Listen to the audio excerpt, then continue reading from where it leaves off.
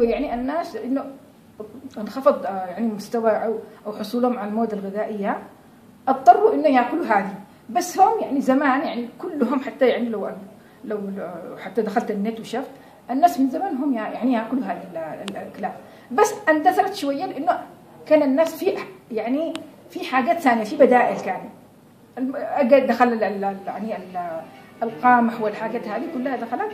هذه كانت بدائل لهذا ال- ال- النبات. العناصر الطبية اللي لقيتوا فيها أو يعني هو أنا على حسب معرفتي أني أشي أشي يعني. ممكن يعني تكون ال- العناصر الغذائيه اللي فيها مثلا الحديد المغنيسيوم في كمان أعتقد بعض ال- ال- ال- العناصر الغذائية.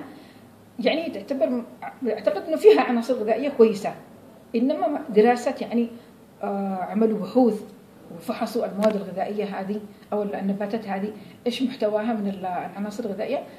يعني أنا حاولت أبحث بكل مكان بحثت بالنت. وفي عندي كمان كتب يعني مراجع عن الأعشاب وهذا. ما وجدتش إنه في بي في حد فصل أو درس ال- العناصر الغذائية هذه الموجودة فيها. هذا طبعا بالنسبة لبعد. في نبات ال- القصمع أو القصمع هذا هذا طبعا يأكلونه مع الحليب. زي الأصابع كذا شكله. أعتقد أنت أيوة، شفته أيوة. زي الأصابع موجودة حتى الناس يتسلوا فيه تسليه تسليه كذا يعني.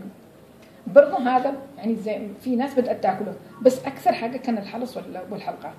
والعثرب يستخدم كنوع يعني من البهارات أو علاج يعني اغلبه تستخدم علاج. يعني لا مشكلة إنه يستخدم كغذاء. هو لا. مش مشكلة إيوه مش مشكلة يعني.